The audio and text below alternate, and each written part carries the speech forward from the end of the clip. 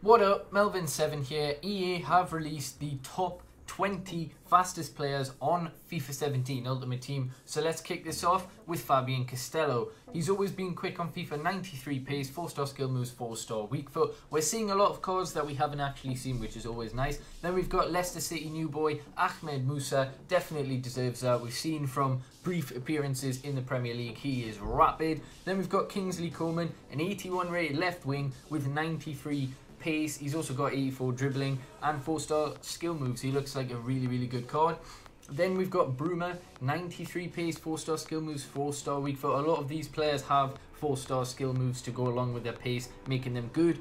This player, however, Jordi Alba doesn't because he's a left back, but he still has 3-star skill moves, 93 pace again. A lot of similar pace stats, of course, because it's a top 20 list. Then we've got Raheem Sterling, who's made a cracking start to the Premier League this season. 93 pace, keeping his 82 rating, 4-star skill moves, looks like a very, very good card on Ultimate Team. Then we've got Lucas, 93 pace, I think that's what he had last year as well. 4-star skill moves, and uh, a very, very good looking card again.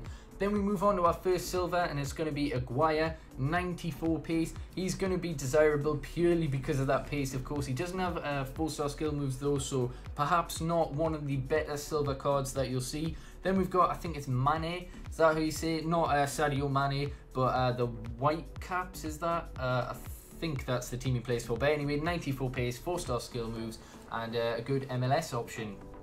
Then we've got Udemede. I think I've said that right, probably not, but yeah, 66 rated left wing with 94 pace, 4 star skill moves again, and uh, yeah, looks like a decent silver card.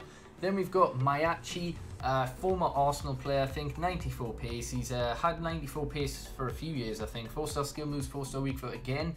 Then we move on to Quaro. I can't pronounce names, as I'm sure you're well aware. 74 rated, silver card, 4 star skill moves. He'll be used purely because of the pace and skills, like a lot of these players. And then we've got another right mid, 94 pace again, another Argentinian. So uh, you could have a 94 pace silver left mid as well as a right mid. Uh, Argentinian player in your team. Then we move on to back to gold with Gareth Bale, 94 pace. We've seen this card numerous times. It looks incredible for a 90 rated right wing. Then we go back to silvers, Asante 95 pace, so we're up in the pace slightly with this one, and uh, obviously a very rapid card there. Then we've got Jurgen Damm, a Mexican right mid. There's a lot of wingers as you would expect, is as that's where a lot of the pace in football comes from 95 pace again. Then we move over back to the Premier League with Hector Bellerin. 95 pace getting a huge upgrade on his pace and he definitely deserves that. He is he's lightning quick in real life. Then we've got Biabiany, a well-known pace demon on FIFA, and uh, he's kept that. I think he had 96 pace actually, so he's dropped down slightly, but still 95 pace is unbelievably quick.